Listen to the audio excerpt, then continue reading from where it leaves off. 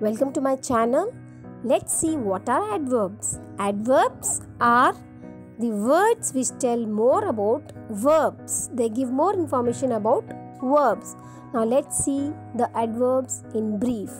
An adverb is a word that describes a verb and tells how, when and where. See the below example. The turtle walked slowly. So after verb here, if we ask how, we get the answer slowly. In what manner? Slowly.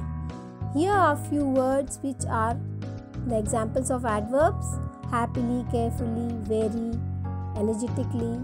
All these are adverbs. Now let us see the types of adverbs. There are five types of adverbs adverb of manner, time, place, frequency, and degree. So let us go through them one by one. First is adverb of manner. Adverb of manner tells us how something happens.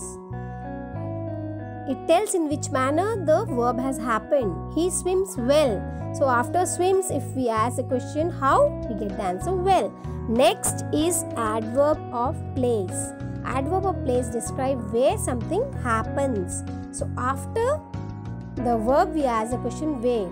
Sheila went where? Inside. The kids went way Outside. Now here comes the adverb of time. It gives the answer to the question when, for how long, how often. So just go through these.